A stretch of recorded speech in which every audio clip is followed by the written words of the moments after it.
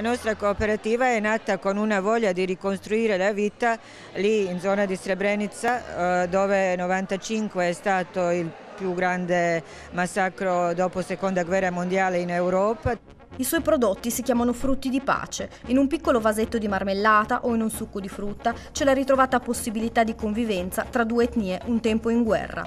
La cooperativa Insieme, di cui Rada Zarko, vicepresidente, ha sede a Bratunaz, a pochi chilometri da Srebrenica, in Bosnia-Herzegovina, tristemente nota per la strage del 1995.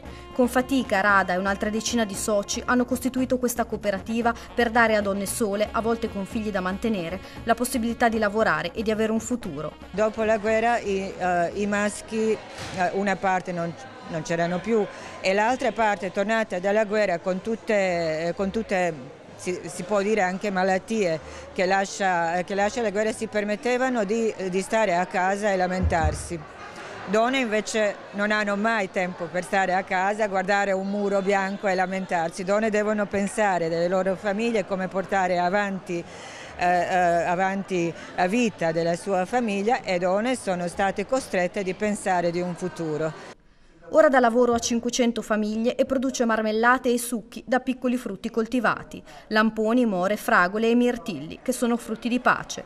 Con queste marmellate i cuochi del circolo Arci fuori orario di Taneto di Gattatico hanno cucinato la crostata, servita durante la cena incontro in cui Rada ha parlato della sua esperienza insieme a Coop Consumatori Nord-Est perché da oggi i prodotti della cooperativa Insieme sono sugli scaffali di supermercati e ipermercati Coop di tutta la provincia. Dopo dieci anni siamo contenti di dire che possiamo offrire al mercato non, non, materia prima, come di solito si fa, uh, si fa, da paesi in situazione come i nostri. Noi possiamo offrire anche un prodotto finale, un prodotto che ci porta dentro, dentro il suo contenuto, la nostra tradizione, le nostre conoscenze anche i nostri, nostri amori, le nostre nostalgie, un po' di nostra anima.